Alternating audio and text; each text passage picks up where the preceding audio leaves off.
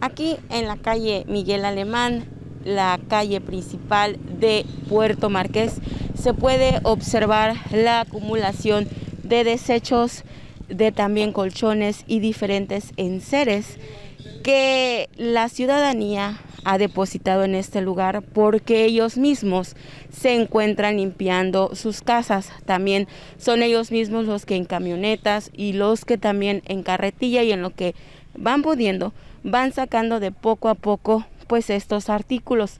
La pestilencia por la acumulación de desechos es insoportable y un foco de infección para vecinos de Puerto Marqués, cuyas calles se encuentran tapadas de lodo. En esta zona el agua creció hasta un metro y esto propició la aparición de cocodrilos procedentes de la Laguna Negra en el interior de algunos domicilios. La señora Yolanda Chávez aún limpia los artículos de su local establecido en esta zona. Allá el pestecito que venía, que estoy regastando. A vender trastes, a vender... A vender cositas así, para poderlos sostener. En su hogar perdió enseres y la limpieza es titánica para rescatar algunos artículos. Está feo, todo estamos componiendo, no hay nada.